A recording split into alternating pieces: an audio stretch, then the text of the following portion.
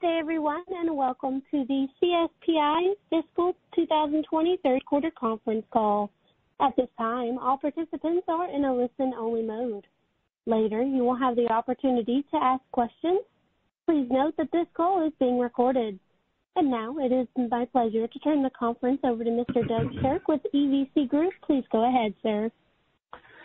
Thank you, operator. Hello, everyone, and thank you for joining us to review CSP Inc.'s fiscal third quarter ended June 30th, 2020. With me on the call today is Victor Dellovo, CSPi's Chief Executive Officer, and Gary Levine, CSPi's Chief Financial Officer. After Victor and Gary conclude their opening remarks, we will then open the call for questions. Statements made by CSP Inc.'s management on today's call regarding the company's business that are not historical facts may be forward-looking statements as the term is identified in federal securities laws. The words may, will, expect, believe, anticipate, project, plan, intend, estimate, and continue, as well as similar expressions, are intended to identify forward-looking statements. Forward-looking statements should not be read as a guarantee of future performance or results. The company cautions you that these statements reflect current expectations about the company's future performance or events and are subject to a number of uncertainties, risks, and other influences, many of which are beyond the company's control, that may influence the accuracy of the statements and the projections upon which the segment and statements are based. Factors that may affect the company's results include, but are not limited to, the risks and uncertainties discussed in the Risk Factors sections of the annual report on Form 10-K and the quarterly report on Form 10-Q filed with the Securities and Exchange Commission. Forward-looking statements are based on the information available at the time those statements are made and management's good faith belief as of the time with respect to the future events. All forward-looking statements are qualified in their entirety by this cautionary statement, and CSP Inc. undertakes no obligation to publicly revise or update any forward-looking statements, which is a result of new information, future events, or otherwise after the date, excuse me, whether as a result of new information, future events, or otherwise after the date thereof. With that, I'll turn the call over to Victor Dellovo, Chief Executive Officer. Thank you, and good morning, everyone. Before we begin, I want to acknowledge the impact of the coronavirus pandemic and express our heartfelt concern to those who have been affected. Since we last talked with you in May, our team has continued to adjust how we operate the business to maximize our opportunities in a manner that is safe for both our employees and our customers.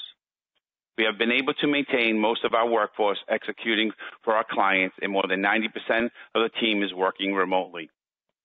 We are now several months into the new normal, and despite limiting our ability to visit our customers and potential customers, we continue to build our pipeline in all lines of our business.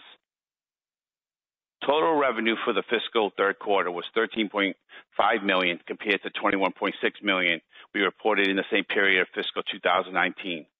While the year-over-year revenue decline was primarily related to COVID-19 pandemic, our decision to also transition our business to higher margin products and services enabled us to significantly improve our gross margin. I believe this achievement demonstrates the soundness of our execution of our profitable growth plan. Further, during this transition, our prospects remain quite high, and if nothing else, the suddenness of the COVID-19 pandemic and unprecedented of remote working environments is helping to highlight network vulnerabilities. Businesses, both large and small, remain exposed to increased threats, and there have been several well-publicized ransomware attacks. I believe this fear, in addition to providing a secure remote working environment, is a growing concern for many businesses. It is critical that the businesses have a partner that understands the complex challenges. We are positioning CSPi to be that partner as our newest solutions are in our Unified Communication as a Service, or UCaaS, team ready-made for today's critical network issues. For the quarter, our Technology Solutions, or TS revenue was 11.9 million. While the TS division was impacted by COVID-19, we were able to generate most of our revenue from our large customers. Our managed service practice, or MSP, continues to perform well as we sign new customers during the quarter, which include cloud business and UCaaS. Importantly, we have not lost a single customer as they value the service we are providing. This stickiness demonstrates our importance to our customers even during these unprecedented times. I believe that the three lines of recurring revenue business we created continues to bring stability to CSPI. Separately, the cruise ship industry remains one of the most COVID-19 impacted industries. When we spoke in May, many operators were looking to resume cruise during the summer months. However, in June, the Cruise Lines International Association, or CLIA, announced that the association ocean-going cruise line members will voluntarily extend the suspension of the cruise operations from the U.S. ports until mid-September 2020. However, some cruise operators have plans to restart in the EU ports in the coming weeks. While the continued travel restrictions hamper the ability to gain access to the ships, we continue to communicate with the operators every other week, and we are prepared to move on a moment's notice. On the positive side, these upgrades need to occur, and the operators have already purchased the equipment, so we would expect these ships to be prioritized when business resumes. As we have consistently reported over the past few quarters, our Microsoft practice continues to perform well, and this latest quarter was no exception. We are in a month through Q4, so I'm reaffirming our belief that we will achieve a greater growth rate for the business compared to a full-year growth rate of 140% we achieved in 2019. Regarding our UCaaS offering, an all-in-one service for hard and soft phones, including 24 by 7 security and technical support with redundant data centers both in Florida and Texas. As a reminder, UCaaS market size is expected to grow from 15.8 billion in 2019 to 24.8 billion by 2024, being driven by growing trends towards mobility and bring your own device or BYOD to the workplace. During the quarter, we continued to have success as we added new customers and expanded sites at our current customers, all while continuing to increase the number of virtual product demonstrations we are performing on a weekly basis. The new business pipeline is promising, and the team is engaged with prospects and is maintaining constant communication. Now I will move to our High Performance Products, or HPP division. Revenue for the quarter was 1.6 million, in line with our estimates, and reflects revenue from our legacy business being offset by the expected decline in the Myricom business. ARIA, our award-winning next-generation cybersecurity platform that helps organizations protect themselves from harmful hidden attacks without human intervention, is continuing to garner tremendous interest and customer success as we recently completed an installation for an international customer. Further, we continue to be well-positioned within a leading cable company and other OEMs opportunities for ARIA. I believe the testimony, along with the industry acknowledgment and robust lead flow we are generating from virtual trade shows, will drive future sales in the HPP division. Additionally, we now have six partners for our official channel program, and we are speaking with several others to ensure a robust channel program. To summarize, the CSPI team is performing well and remain focused during the unprecedented times. We have made and will continue to make necessary adjustments to our operations to ensure business execution. Specifically, our new ARIA and UCaaS offerings are generating the expected interest as we sign up new customers and broadening our pipeline. We have a diverse customer base, both large and small, and this breadth will allow us to successfully navigate the near-term uncertainty. We are excited about our long-term growth prospects. With that, I will now ask Gary to provide a brief overview on the fiscal third quarter financial performance. Thanks, Victor. As Victor mentioned in his opening remarks, our third quarter revenues were $13.5 million compared to 21.6 million in the year-ago third quarter and reflects our pursuit of higher margin business. We reported gross profits of 4.2 million compared to last year's third quarter profit of $4.8 million, resulting in a gross profit of 31.2% compared to the year-ago gross profit of 22.4, an improvement of 9%. Our engineering and development expenses for the third quarter was $693,000 compared to 583,000 in the year-ago quarter. In the prior year quarter, we received a refund of $150,000 from a consulting cost for a project that wasn't completed. Our SG&A expenses in the quarter were $3.9 million, slightly decreased from $4.1 million in last year's fiscal Q3 due to a decrease in variable compensation costs. We repeated, we reported a loss before income of $200,000 in Q3 compared to income before income taxes of $206,000 in the prior year third quarter. During the quarter, we had income tax expense of $10,000. The prior year quarter had a tax benefit of $326,000. In early April, when it became evident that the COVID-19 would have a severe economic impact, we took several actions to improve our cash flow, including the suspension of our quarterly dividend, stopped our stock buyback program, and applied for and received a PPP loan. These actions at the end of of June strengthened our cash position by approximately $3 million. We ended the third quarter with cash and short-term investments of $20 million, which includes cash of 10 million in the U.K., and we have a pension liability of $5.2 million.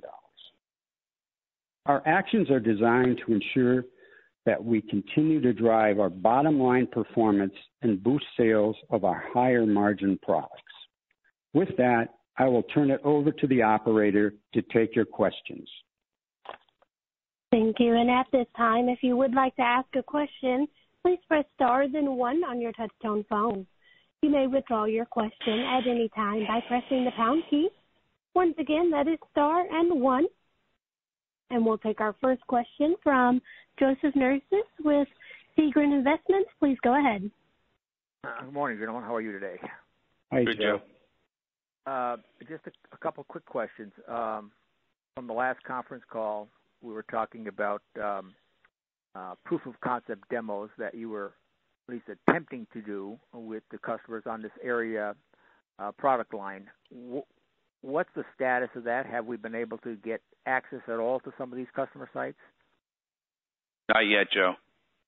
Not yet? Not yet. Okay. No. so, that... so We should have a backlog of proof of concept demos out there. I assume that we've been. We've been doing the virtual ones, and we've been trying to do you know like a try and buy where they actually you know give us a purchase order, stuff like that. That's what we're offering. Um, yeah. You know, they want to see it They want to you know They want to see it work. Yeah, exactly. And we haven't been able to get on site. You know, most of our customers still have, unless you work there, you're not allowed you know, to be on the facilities. Okay. But um, the, the last uh, again, in the last conference call, you were saying you were doing you were doing demos. uh, So I assume you were able to do some sort of a demo absent the proof of concept. Uh, We're doing demos. We're doing three to five demos a week. Okay you know, consistently. Um, but getting it to the next level of the proof of concept is what's kind of slowing things down at this this stage. Okay. And so I have to assume that in the last three months, you've had quite a few uh, virtual demos, if you want to call it that. Mm-hmm. Uh, on that. And, and it's a matter of getting, and we and so we have not been able to get to most customer sites at all. Is that what you're saying? Okay. On the uh, UCaaS uh, offering, I see you. We we've signed a couple of customers out with UCaaS. Mm-hmm. Yeah. Um, Are most of the customers that we're getting there, are I take it, are they taking the standard product, or are we doing modifications like you had indicated some conference calls ago? In other words, are we modifying it to the customer specification, the Cisco? I would say 50/50, Joe. Okay. And I guess my question is, are we are we competitive uh, uh, versus, let's say, the uh, RingCentrals of the world? Uh, because they're out there doing the same thing, right? Pretty much, is uh, is that Cisco product line with the platform that we're utilizing um, very competitive in the market? I would say, Joe, if you go look on this, like three buckets that they sell into, like a higher-end you know, line where you get the Webex and everything that goes along with that. And then there's a middle, the two middle tiers were very competitive um, Yeah. not a problem. If it's just ringtone, it's probably not our, you know, bag of, you know, they're not customers that we're we're really interested in. You know, if they're trying to do like four dollars a month or something very very inexpensive per user, that's not where we're trying to, uh, you know, go after.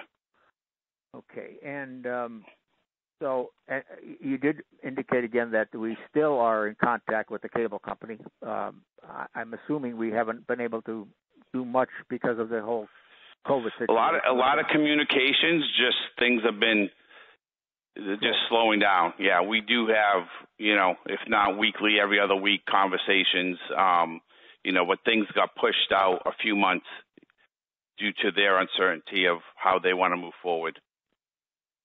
Okay, and one one other thing uh, on the uh, we are we're finally with Technology Solutions are is is finally offering um, our Vital MDR Advantage, which will incorporate the ARIA platform. Um, and I'm just wondering, uh, you know, this, this is a perfect platform to uh, obviously for any of the managed security service providers.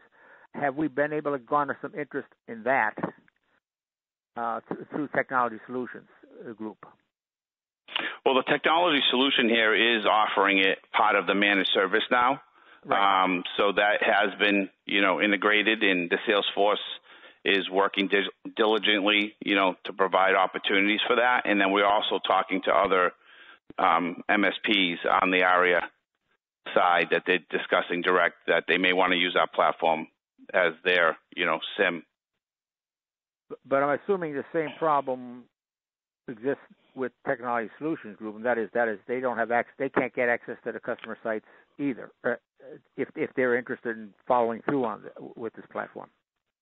Exactly. Uh, we just have some stronger long-term relationships that we could kind of, you know, try. We're trying to push them to, to, you know, yes, just say, hey, believe in us. You know, you trust us for the last 10 years. You know, we know this is going to work. So those are the conversations that we're trying to push on the, the TS side a little bit faster and, you know, than we would normally on a brand new customer that may not know, you know, CSPI or ARIA. Okay. Um, how about any, any E2D royalties in this particular quarter or expected in the next quarter? There'll be There in some- the current this current quarter, Joe. We're going to have uh, royalties, and we had a few in the last quarter. Going into next year, we we just have to see how they fall out because what's happened over the last few years is they don't get the product out and it trickles into the first quarter of the fiscal year. So to see how they they when they build the boards. Basically, we had a little bit this quarter.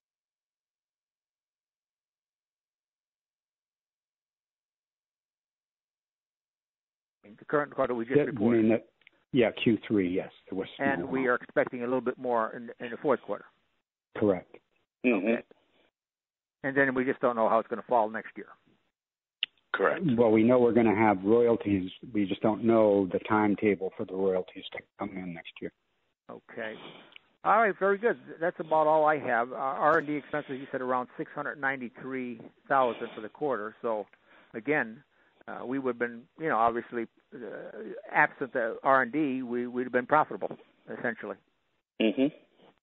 All right, thank you very much. Appreciate it, guys. Okay. Thanks, Uh, Joe. You know, Yep. uh, hopefully we can get through over this pandemic and move forward with uh, with certainly some of the new offerings. Thanks a lot, Yep. guys. Thank you. Thanks, Joe. Bye. And we'll take our next question from Jonathan Honig with Compound Partners. Please go ahead. Gentlemen, good morning. Good morning. And thank thank you for doing what you're doing. You know, uh, I represent an individual and a group which is, uh, I believe, the largest shareholder in, in the company, and we're extremely bullish about what you're doing. Uh, the technology is there, the innovation is there, the management is there, uh, and uh, the story is, and and and the, we believe the valuation to be really compelling. Uh, you know, especially when compared to so many names in in your group. You know, how can how can we how can the story be best put out to let people know what the potential is here, uh, especially given the market? Could you speak to the size of the market for CSPI and you know, how we can kind of help people to understand that this isn't a sleepy value opportunity. This is a growth company in the cybersecurity space that is trading at a massive discount, in my opinion. Well, I think that uh, there's there's a few things that we're doing behind the scenes. We've got uh, a new uh, IR firm that we've hired and working with them so that we're trying to get in front of more potential shareholders to get our message out. We're also continuing to, you know, at least trying to put the word out about the product itself. We're still competing in certain issues so that we get notified, I mean, noticed by uh, uh, different people in the media and trying to get more there, as well as um, we're being very proactive on the, you know, the channel to get uh, people there from the customer standpoint. But we really have to look at uh, getting our message out more and more. We think you're correct in that. Uh, and I know Victor is trying to get more things going on on the IR front. Yeah. And you know, I completely agree with you in that in the segment that, you know, we're competing with, um, you know, some of the competitors. You know, they've been doing it, you know, maybe a little longer than we have. But if you really look at the technology, you know, they do piece points where, you know, we feel that we're covering, you know, 70%-80% of the overall security, you know, we can cover with both the ARIA products that that we currently have. So uh, you know, I we I definitely think we're undervalued. You know, we need a few more customers, you know, to build up a little bit more of a reputation that, you know, you could go to some of the, you know, the players that cover Gartner, the Forresters, and and try to get them to, you know, to cover it. But you know, I put our product against any of the, you know, the other products that are out there that you see on, you know, national TVs, commercials and stuff like that that are out there. But you know, they've been doing it a little bit longer and, uh, you know, definitely a lot bigger, you know, at this at this stage. So, but compet- you know, on product-wise, I definitely put us against their product any day. Thank thank you, Victor, and thank you for the relationships that I know you're building. And I wanna dominate the call, but I'll ask very briefly too. Can you speak a little bit to that? Because I think of CSPi as an undervalued small cap that has relationships with some of the largest large caps. Can you briefly speak to a couple of the companies that you're working with, that you hope to work with that, uh, you know, are among the well-known, most well-known in their spaces? I can tell you we're in the financial institutions. You know, I'd rather not specifically mention the customers', you know, names without their permission, but we're in the the, the largest the large, you know, uh, financial institutions that, you know, we currently talk to. And it, the verticals are all over. You know, banking and healthcare are the two verticals we really started focusing on. You know, I think in even in this pandemic type of environment, you know, they do have money that they have to spend in security, you know, to protect, you know, whether it's clients' information, both on the financial or on the, you know, HIPAA and in healthcare. So those are two verticals that we've concentrated on. And you know, we're talking to, like I said, the you know, the largest cable companies that are out there also that we're talking to right now. So, you know, of course, there's always competition, but I think once we were able to to get the product in there and show how it works, we'll have a, you know, a good chance of earning their business. That's awesome. I mean, pre, before the pandemic, interestingly, uh, CSPI traded very closely with the cybersecurity ETF. Uh, it has recovered quite dramatically, uh, CSPi obviously to a lesser extent. Mm-hmm. We're bullish, and we really believe in what you're doing. And uh, you know, that's why we think the company is undervalued and continue to hold. Thank you again. Well, thanks for your support. And just as a reminder, that is star and one for your questions today. Star and one. And we'll go next to Brett Davidson, a private investor. Please go ahead. Hi, guys. Hi, uh, Brett. Hey, Brett. I'm following up to Joe here. Joe had some fast questions. I got some slow ones. Okay. So, so you guys made reference, Victor, in your comments, you made reference to to growth, and I didn't catch all of it. I was wondering if you could just just touch on that again. In relation um, to? To the prior year. I, I wasn't sure if it was where we were going to end up this year. Oh, I was saying the growth was just on the Microsoft piece of it, the Office 365. We had a good growth rate on the, our cloud business. That's what I was referring Got to. Got it. All right. Um, uh, there was a, a new customer installation you, you had mentioned, hmm and uh, I, I believe it was the, the UCaaS. And did that revenue is did that any of that drop in the last quarter, or is, or is that all going forward? Well, we've had we've had new customers in both UCaaS MSP over the quarter. We also had, you know, the the an installation of the ARIA product. It was an international customer that was installed, and it, it wasn't, you know, large, but it, we did book it, um, you know, last quarter. So And and the UCAS, I mean, was that through, throughout the quarter last quarter, or was Well, that the UCaaS is a, is a recurring. Everything we're doing right now, and Yeah. I, and I, I I don't know if you caught it. There's three business lines that we're trying to do. It's a recurring revenue model. So whether it's you know even ARIA can be as a recurring revenue model on a on a monthly basis. You have the UCaaS on a recurring revenue model basis. Usually they're three year contracts, and then you know so between UCaaS potentially ARIA can be sold just bought or month, you know, recurring revenue. And then you have the MSP, the managed service practice, which are all um, recurring revenue models. So Yeah, you, we would trying- recognize so- revenue as we, you know, over the, you know, the period of three years. So, I mean, the, the prior quarter was such a disruption. I'm just having a hard time figuring out, you know, exactly what's going on inside the business. I'm just trying to get an idea whether that was late in the quarter, or you know, during the the course of the quarter, or or how that's going to, you know, impact revenues going forward. So, I mean, if it was the last week of the quarter and you guys booked some revenue, well, obviously it's you know not representative of what this quarter will look like. Mm-hmm. I mean, Well, a can you comment on that at all, or is Well, I think throughout the quarter, we had some ups and downs, as many other companies did. Uh, we didn't, and you know, certain months were stronger than other, but the trends were that the customers were were purchasing. So at some times, with a buying product, you're getting the whole product more, but the reoccurring revenue is the ones that uh, were getting, you know, the new stuff, and that's was uh, sort of uh, spread throughout the the quarter that uh, different things came on board. So? So you know, you so to, it's difficult to answer your question because what happens is you could have a four hundred thousand dollar contract that's spread out over three years. You could have a million dollar contract, so you're not going to see huge, you know, swings.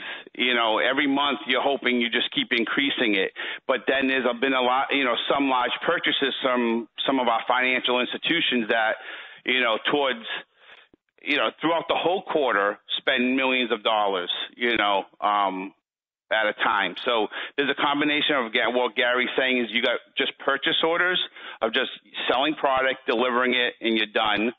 And then, um, and then you have the, you know, the recurring revenue, which it happens throughout the whole quarter, you know. Right. And if it's at the end of the, you, you know, towards the quarter, you're not going to get any of it until you know, the pro- more than likely, if we sign it the last week, we're not going to bill until the following mo- month.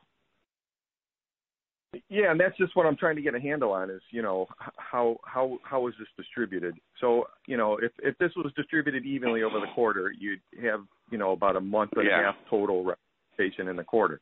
Yeah, so, I mean, not. if all this activity was spread out evenly, it's going to be a little different than if, you know, the majority of it was in the the final month of the quarter.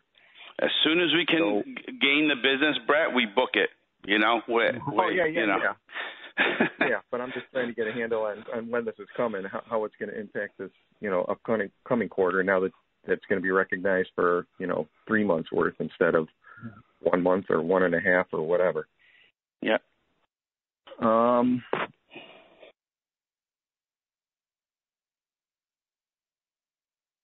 So, so you guys did book revenue from the the UCaaS in the quarter.